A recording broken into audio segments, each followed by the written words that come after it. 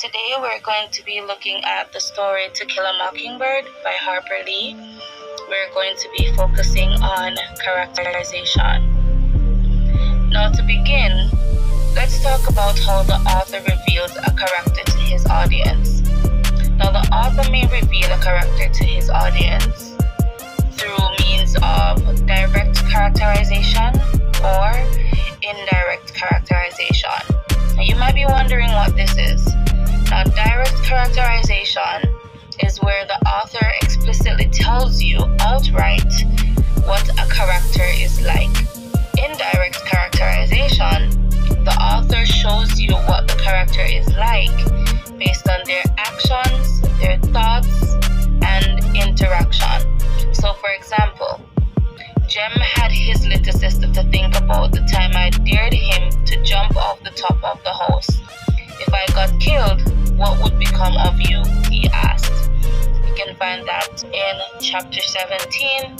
And what this basically suggests is that Jem is a very considerate person and he is very mindful of the things that he does.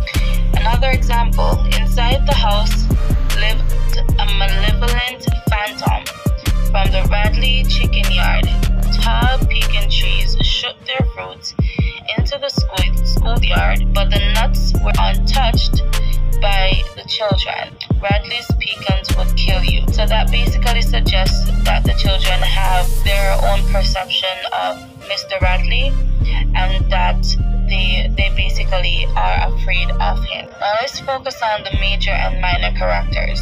Now the major characters or character in the story one or two characters who usually dominate throughout the story. The minor character, however, helps the main character's tale by interacting with them and highlighting aspects of their personality.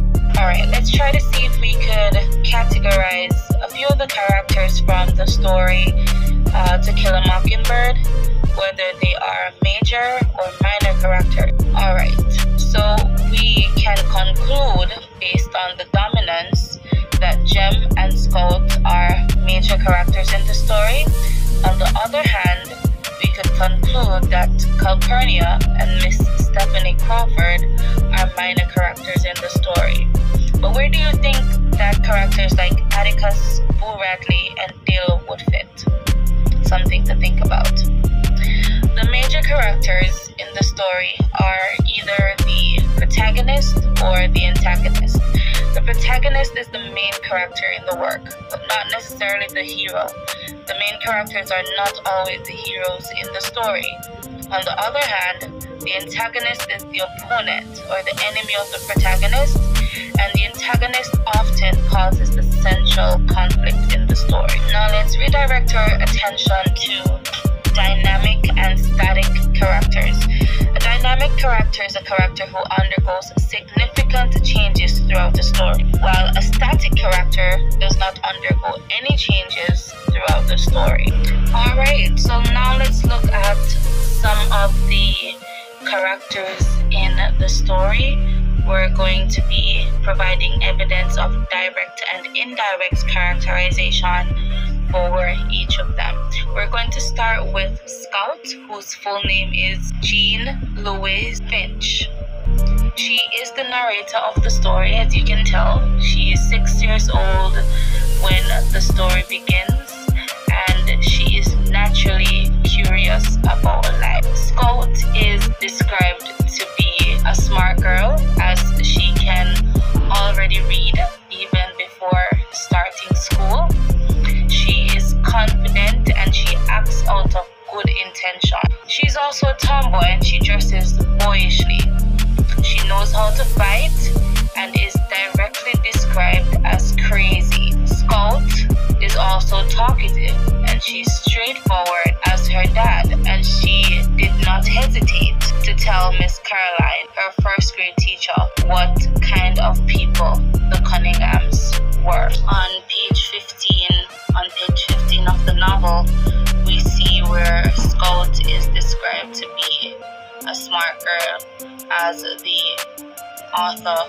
mentions that she is smart as she can already read and she is curious and longing to go to school. Jem, on the other hand, who happens to be Scout's older brother, is described as being a sensitive person. He's very generous and he can be temperamental at times, but he's very mature and protective and he's also humble. And his closest friend, as we know, is Charles Baker Harris, who he affectionately refers to as Dill. At, at the beginning of the story, um, we see where it is mentioned that Jem broke his arm when he was almost 13 years old. His greatest fear having that happen was that he would not be able to play football anymore, which he had a great love for. And he also liked uh, playing football with his dad. Jem idolizes his father and he tries his utmost best to make sure that he is walking Atticus's footsteps. Jem is directly characterized as having brown hair. Um, he's not very tall and he's described to be a thin person. Alright, let's look at Miss Maudie and we're also going to look at Calpurnia. These are two minor characters in the story. Um,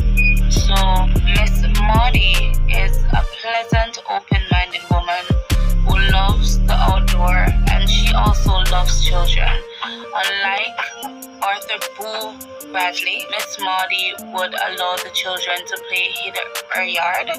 Not only that, she would also allow the children to eat from her garden, contradictory to Boo Radley because the children wouldn't even eat the pecan nuts that would fall from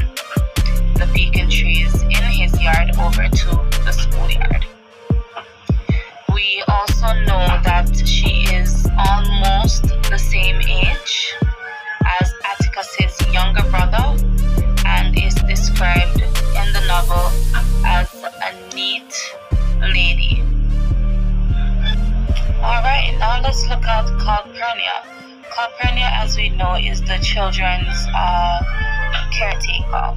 She is tall but slender. She is an older African American woman who is very strict. She's very demanding, uh, but she's very unsentimental.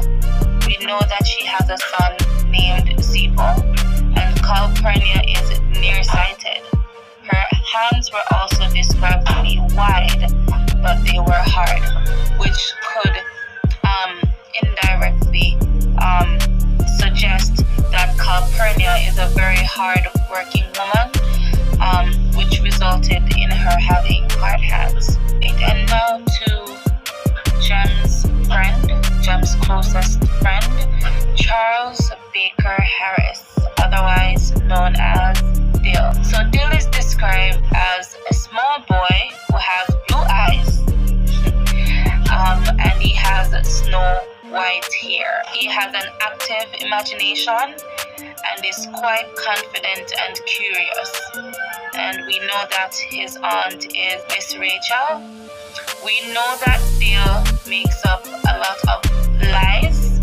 Um, he specifically lied about seeing his father um, after after returning from Meridian um, at the end of the school term, which is where he actually goes to school instead of Maycomb. Dill mentions that he had seen his father and that his father was so we can find that in chapter 4 where Dill Dill describes his father as being or or Scout describes Dill's father based on what Dill would have told them that his father was taller than their father and that he had a black pointed beard and that he was also the president of the L and N Railroad, which we know is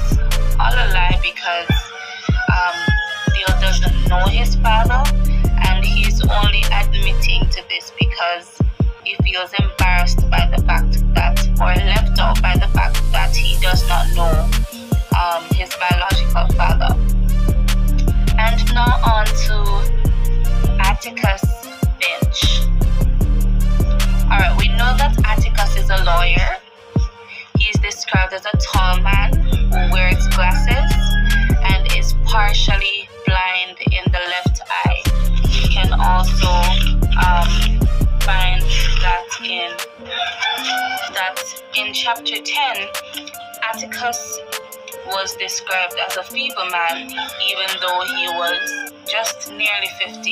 We know that Atticus is brave because he shoots a rabid dog. In addition to that, we also know that Atticus is a humble man. We could conclude that Atticus is humble based on the fact that he refused to tell his children about his rare talent. Um, so that, that confirms that Atticus is very humble. Um, we also know that he's a very civilized individual who does not find the idea of killing animals appealing, and that is an indirect characterization for Atticus Finch.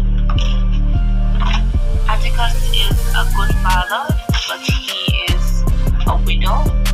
The story tells us lost his wife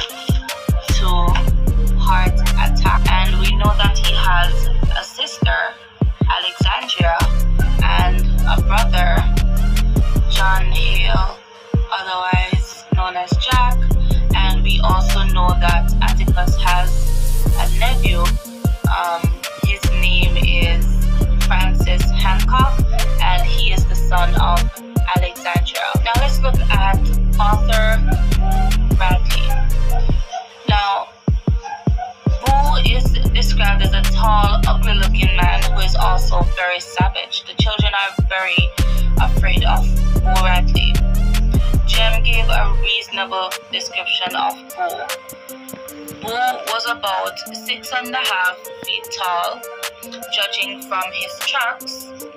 He dined on raw squirrels and cats he could catch. That's why his hands were bloodstained. If you ate an animal raw, you could never wash the blood off. Scout describes Boo Radley initially as a malevolent phantom because he is credited with acts of vandalism committed in the night. Superstitions about him exist. He has a mysterious history that leads to his reclusive life, and Jem and Scout never seen him. They, they've never seen him before. So everything that they're basically saying about Boo Radley is dependent on what they would have heard about him. So this is basically their um, superstition based on what they heard about him. However, in chapter 29, the reader is treated with the correct description of how Boo Radley looks. We know that his face is, is white, and we also know that Boo Radley has a mark across his face. Walter Cunningham is a poor boy and he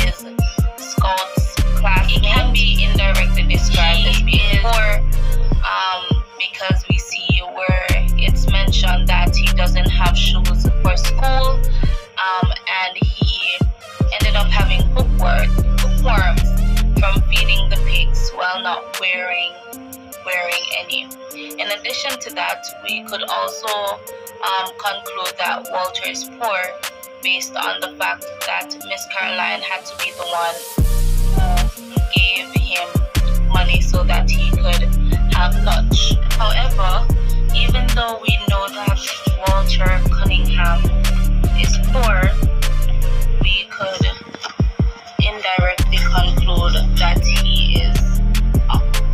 very honest boy. It is noted in the book that um, the Cunninghams never took anything they can't pay back, no church baskets or no scrip stamps.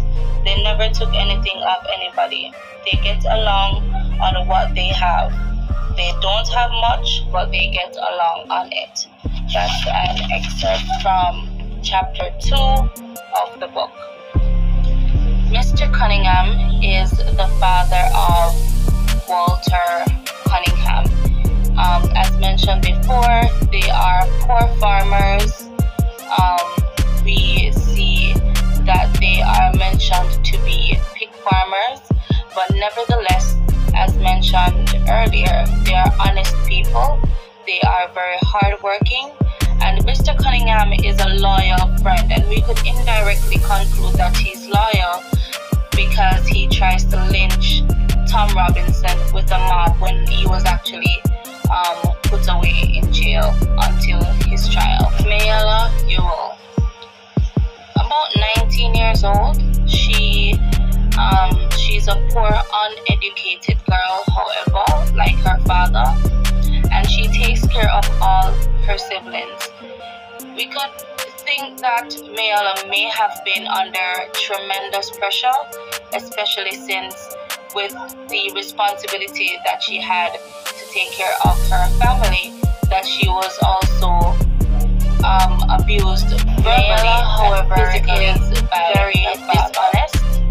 And she goes along with her dad to wrongfully accuse Tom Robinson raping her. She's very convincing though because she managed to get Tom Robinson even after completing his duties to do additional um, jobs for him when he should have been on his way home now, to Bob his Ewell is the father of Mayella Ewell. He is a racist man who is uneducated and spends most of his time getting drunk. He accuses Tom Robinson for raping his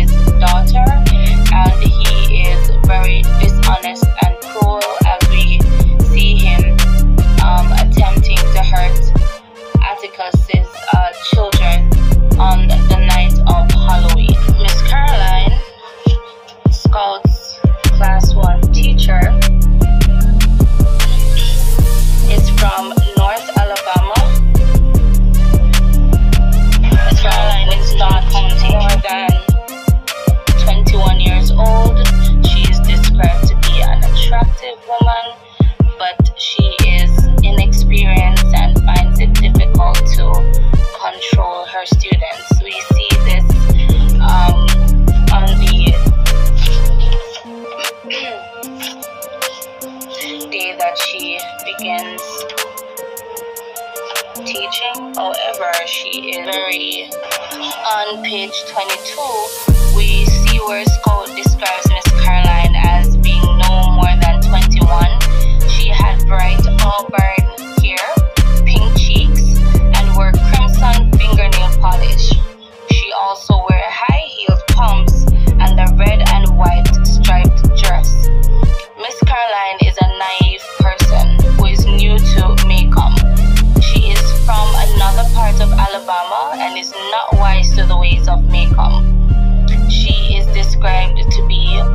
21 and she's a new teacher who doesn't have much experience and she criticizes Atticus's um, uh, way of teaching Scout how to read. I won't, however, consider Miss Caroline to be such a great teacher because she seems to be very impatient and she's concerned. She doesn't want the children to become too smart for their grade, like Scout is. There are quite more a few um, other characters in the story, but we're going to move comparing to Aunt Alexandra and Atticus. Now, Aunt Alexandra believes that women should always wear dresses and always use ladylike manners. She believes that Scout should be brought up with feminine influence, as she says in the novel. She thinks that all young girls should be interested in clothes and boys. She also believes that when Scout is playing with boys in her overalls, she's embarrassing the Finch family for behaving like a tomboy. Remember, as we said before, that Scout dresses boyishly. Now, Atticus, on the other hand, believes that women can wear whatever they please. He doesn't enforce manners and acting ladylike as much as Aunt Alexandra does. He believes that he is raising Scout in a fine way, no matter what everyone else is telling him. He also believes that Calpurnia provides enough of a feminine influence, even though she is the black maid and isn't quite the same as her mother. Bear in mind, however, that Atticus has no problem with the fact that Calpurnia is black. Um, they're similar Aunt Alexandra and Atticus are similar in the, um, based on the fact that they both believe in bring, bringing honor to the Finch family. They have different beliefs about what disgraces their family, but they both believe that it is important to be proud of their family name. Lastly, we are going to look at the similar characterization for Dill and Jem. Now, both Dill and Jem are very adventurous. Um, you can find evidence of that on page 57. Um, you can also find evidence of them both being inquisitive on page 57 as well. Um, and both like to imagine things and act out stories. So you can find that between pages 8 and 9. Jem uh, Jem is different from Dill because um, looking good was important to him in front of his friends. And he wants to look brave and not look like a wimp in front of his friends. That, that's on page 15 and 16. So he wants to um, basically leave an impression that he is a brave person. Jem is also superstitious um, evidence on, of that is on page 41, and evidence of Jem being afraid of the Radley's place, you can find that, that on page 14 and 15. Dill, on the other hand, is very brave. He's not afraid of Boo Radley and he makes up a lot of lies, as we mentioned before. Now, it is important to note that even though Jem and Scout are afraid of the Radley's place. Um, being inquisitive would have caused Jem's pants to be stuck um, in um, tangled in the fence, but considering the the superstitions based on what Jem and Scout would have heard about the Radleys, Jem decided he was going to return for his pants, which would also suggest that Jem is actually very brave and that Jem um, knows how to take risks. Alright, let's look at a few paragraphs and analyze if these are direct or indirect characterization. Now, Dale was a curiosity. He wore blue linen shorts that buttoned to his shirt. His hair was snow white and stuck to his head like duck fluff. He was a year my senior, but I towered over him. So, because that is explicitly mentioned in the story, we could um, conclude that this is actually uh, an example of direct characterization for Charles Baker Harris. Now, the next one says Jem gave a reasonable description of Boo. Boo was about six and a half feet tall, judging from his tracks. He dined on raw squirrels and cats he could catch. That's why his hands were bloodstained. Now, this one is a little bit different because this is basically a description or what what Jem thinks that Boo Radley looks like. So we could um, say that this one is actually indirect characterization because we don't actually know what Boo Radley looks like until we get to chapter 29 of the novel. And now for the last one. The Radley place fascinated Dill. In spite of our warnings and explanations, it drew him as the moon draws water, but drew him no nearer than the light pole on the corner, a safe distance from the Radley's gate. So what does this there? Um, he would stand suggest his arm around the flat pole. Part of this could actually be wondering. direct um, uh, characterization because it says that Dale was fascinated by the Radley's place. Um, but it also implies that Dale is not afraid of the Radley's place, um, regardless of what he was actually told by others, as well as Scout and. And Jeff, this is the